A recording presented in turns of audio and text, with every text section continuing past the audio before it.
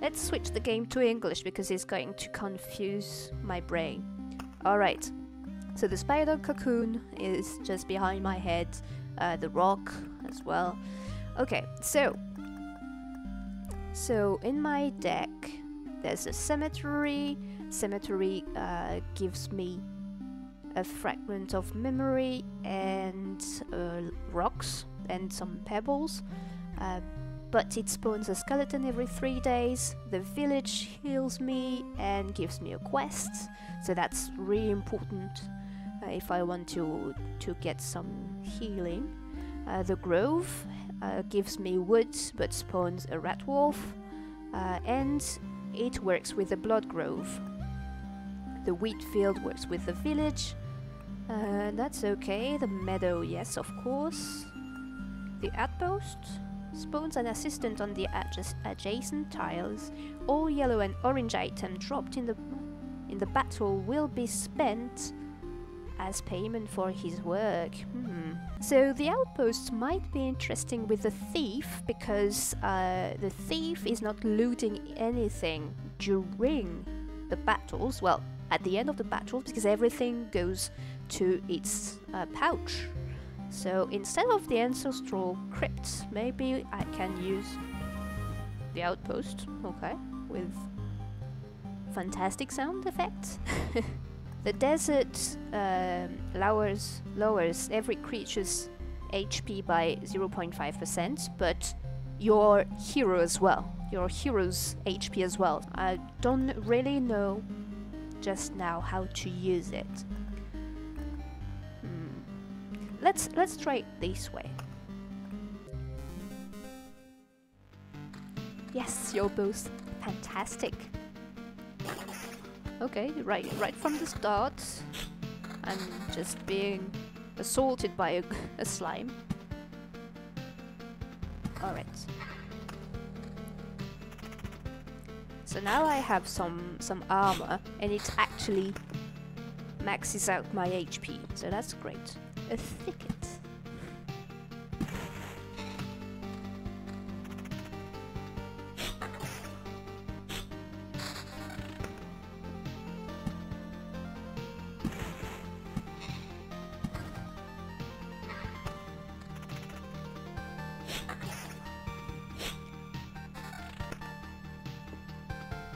So the blood grove I need, uh, I need a grove so once again, I'm not controlling, I don't control the little guy's movements and I don't control the battles. All I can control is the building of the world, the rebuilding of the world, and the the equipment management. That's it.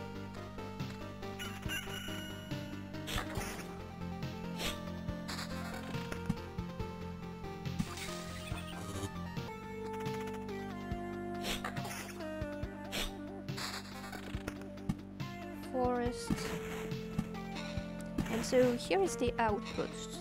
So soldiers from this outpost are always glad to help a traveler. Not for free though. Spoon's an assistant on the agents and tiles. All yellow and orange items dropped in the battle will be spent as payment for his work. Hmm. So... Shall I put it Ah, okay, it's just a cross. It's not like the the, the blood grove uh, working all around. It's just like this. So it's not as efficient. Here, if I if I put it here, it would work on the on the boss. The boss is going to pop on the cozy camp tile. So if I put it here, that's going to be efficient. So maybe I can put it there instead, or even here. Yeah, let's put it here. Okay, they really like this, this jingle.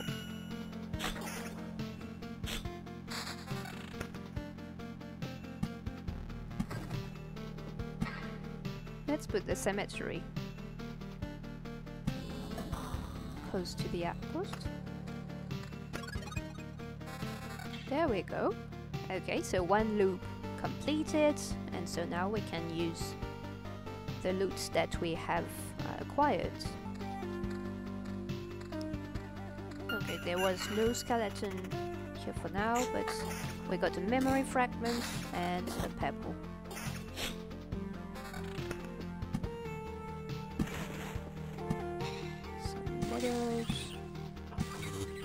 To heal every day a few a few HPs.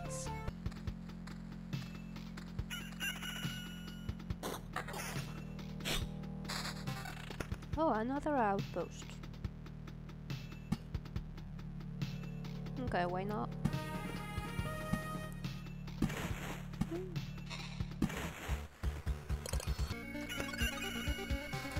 New loot. this feels like Gloomhaven meets Dominion meets Diablo meets the Game Boy Advance. Satisfying, great. Alright.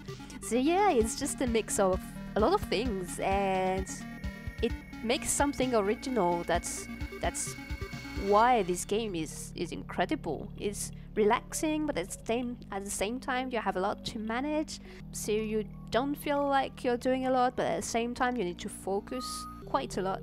Actually, it's just they could have improved the the characters' uh, sprite.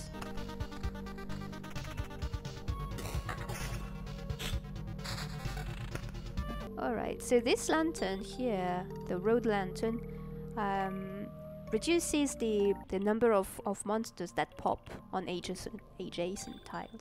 Alright, maybe I can put it here. Where do I want things to pop to pop up less often? Maybe here, actually. Because there will be things. Ah, a village. So the village, I think I'll go I'm going to put it here. And so the wheat, wheat field here and another one there. And so the outpost will help me deal with scarecrows. Ah, 10 thickets and forest tiles, so there's a village.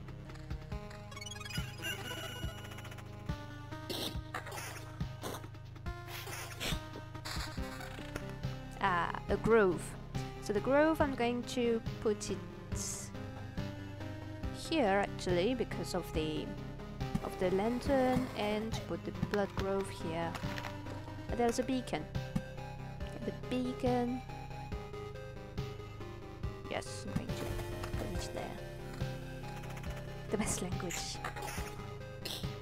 Yeah, but I need. I'm a bit rusty, you know. That's also why uh, I think it's important for me to stream in English sometimes because um, I'm losing practice. That's not good since one of my two jobs requires to speak English and to teach English. Elite slime. Need more Yorkshire. Yeah, that's true. That's true.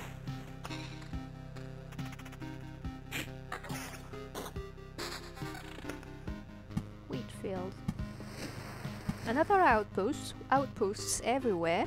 Okay.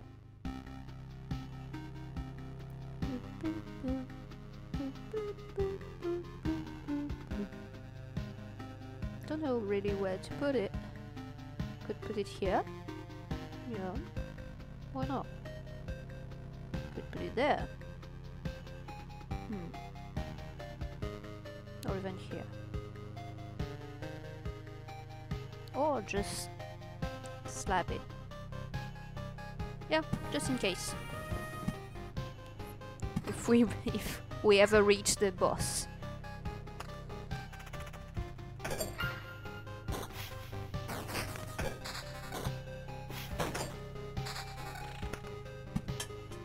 Miner's pick. Okay.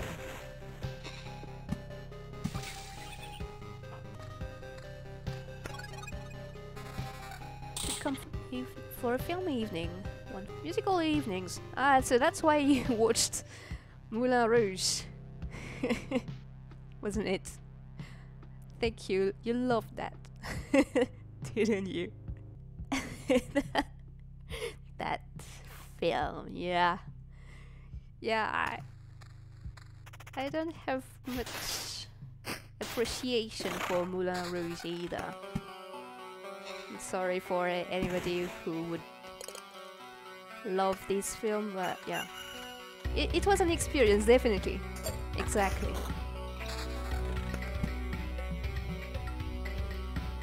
It's just not the, the kind of experience I was expecting, let's say.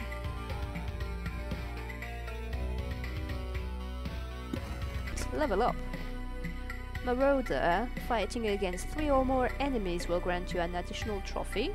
Well, not really good. So there, plus 0.5 times loop HP for an adjacent roadside tile while passing a tile. Uh, loop HP for an adjacent roadside tile while passing a tile. Mm -hmm and lethal weakness, every 10% of lost HP gives you a 0.5% chance to instantly deal a 1000% damage. Yes, yeah, not really good things. Well, let's let's try the lethal weakness.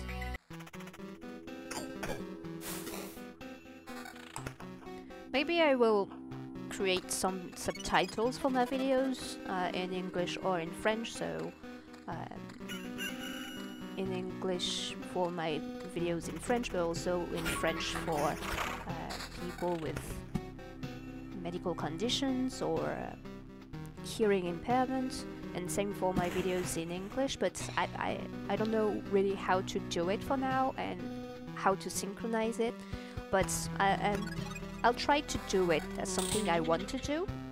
Uh, just, but I'm learning everything from scratch, so learning how to to cut a video, how to to make a video, how to stream. So one step at a time. It's tiring, I must say, and and cu uh, cutting videos takes a lot of time. More, more and more because I'm learning new stuff each time. So I want it to be more better and better. So so it's quite time consuming, but it's also a lot of fun. And so the, my last YouTube video and so my last stream uh, last week about Sleeping Beauty um, from Charles Perrault was a project that I I had been meaning to do uh, ever since university. So yeah, I'm really really happy I can finally start this series of videos about uh, literary fairy tales and so yeah i don't know if it's going to to really work if people will be excited about it or at least enjoy it. I'm pretty proud of this first one. And yes it's something that's a bit important to me. It's it's meaningful to me. It means a lot. Yeah, well, there will be some uh, fairy tales in English because I I do have uh, the, the complete Grimm's fairy tales in English, translated by Professor Jack Zipes, and I have it also in French. So I'm probably going to to read them as well. But I think for for the readings and for the videos, they are only going to be on YouTube because it's not working on Twitch at all, uh, which is fine. But on YouTube, I think there will be an audience. So I'm probably going to record uh, to recreate original content just for YouTube to to be able to really control more uh, the reading and maybe the analysis because it's it was a bit embarrassing and um, and sometimes I had to read again because uh, I would misread or something like that.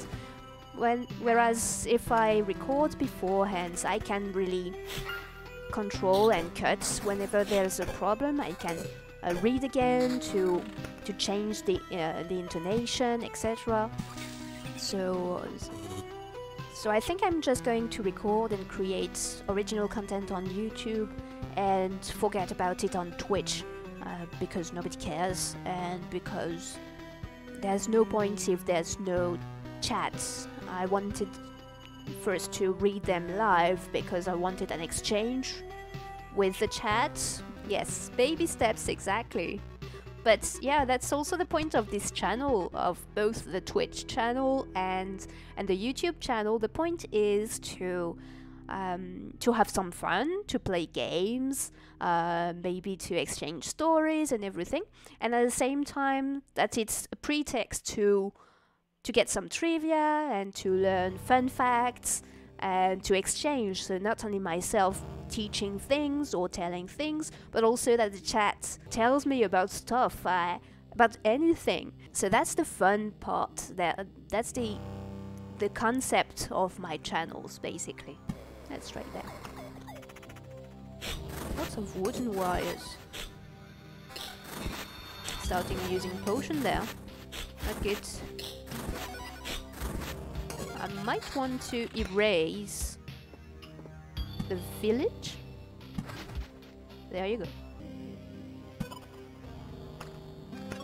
Because there's uh, there's a watchtower built in my village. Okay, new stuff, new things, exciting. Um, and here is just better than the axe, basically. And there's a spare. Spare is a little less makes little less damages, but counter and critical damage. Yes, so I'm going to the going for the Cathar and the spear, I would say.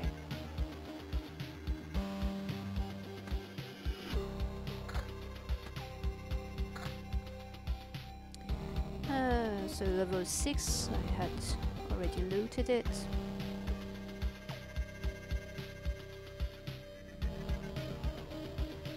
Level 8. Ooh, evasion bonus 7%. Yeah, but that's a lot more HP, so okay, let's go for it.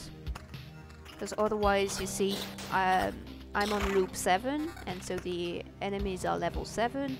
So if my stuff is below, let's say, level 6, it's not go going to be enough to survive. Eaten by the blood.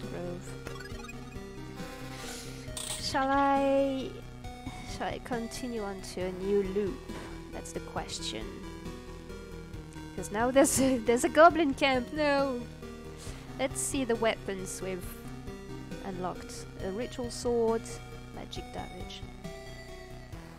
Cathar, a lot of damage, but less critical damage. That's a lot more damage. I think I'm going to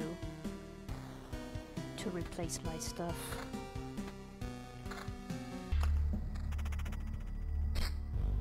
Now this is a flesh golem. That's because of the of the blood grove. The blood grove eats enemy creatures below 15% of HP, of total HP, but then it recreates from the corpses a flesh golem, and it's really tough, as you can see.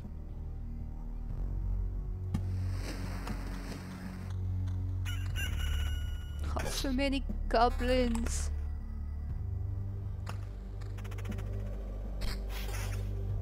Help me out, outpost.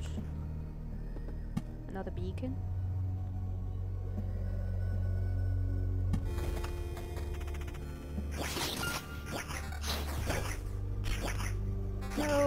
Outpost guy, you're dead. See, they are really annoying. Goblins are really annoying. So I think after this, after this loop, I'm going to to go back to the village.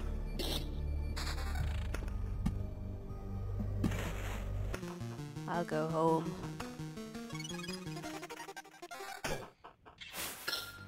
Level up. That's a lot of enemies, yes, indeed. And so that that's why I I've been trying to to summon this the boss for the second for this second expedition. But it's so tough. it's so hard. Okay, so let's see what the level up uh, gives us. So Surveyor plus 0.5 times loop HP for an adjacent roadside tile while passing a tile, okay? Smokescreen, after losing 20% of his max HP in battle, the hero will evade all attacks for two, for two seconds. Well, Master of Fencing, 10% chance to simultaneously attack two targets. Okay. Well, there are lots of enemies, so let's take Master of Fencing. Okay, let's see, let's see. Is it worth it? Wow, could get 21% more critical damage chance. It's tempting, but... Goblins! I still have 5 potions though. Shall we try one more loop? That's the problem with this with this game. You never know when to stop, but I could stop. Yeah, greed is good. it can be, it can be. But I mean, it's especially since I I've unlocked pretty good stuff. Okay, we have survived this loop. We still have 5 potions and there's an armor level 13 with plus 17 critical damage chance and critical damage increased by 23%. So now the game wants me to continue basically. it's just tempting me into more loops basically. Okay, so first let's take this armor. Let's continue. Yeah, the, the game this time really wants me to continue. Let's be greedy. I'm, I'm going to regret it again. But... But why not? We'll, we will have had fun.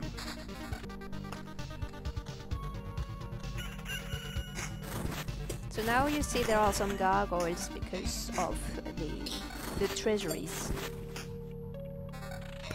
So I'm starting to lose. That's not good, and we're at the beginning of the loop. We have used a healing potion. Okay, let's see. I think if we survive this one, I'm really going to stop.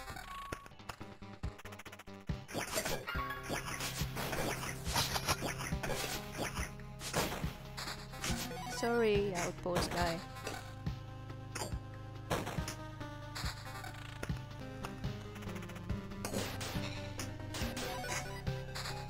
Yeah, I'm stopping uh, after this loop.